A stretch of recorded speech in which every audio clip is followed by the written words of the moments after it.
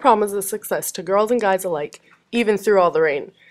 The event was held at the Corinthian Event Center, and the junior class enjoyed activities like dancing, group dinners, group pictures, and other fun activities. Let's see how Whitney Canavel and Andy Selbo enjoyed the dance. Um, before junior prom, we went to Hayes Mansion to take pictures.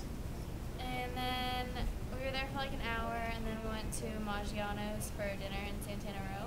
And my favorite part about the dance was all the food and drinks that were available to us. Yeah, I really liked the chocolate fountain because it had literally everything you could think of to dip in. And the drink bar because there were pina coladas and strawberry daiquiris. Yeah, junior prom.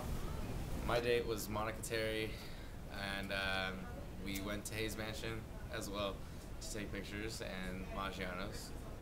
Basically, we were in the same group, and uh, my favorite thing about junior prom was just the excitement everybody had to be there. No one was down because we couldn't really dance, but everybody was really happy to be there, and I was in a great mood. Um, I thought it was really fun. I really liked the fondue fountain and the ice cream bar, and the place was really pretty. But it kind of sucked that it was raining, but we worked it out.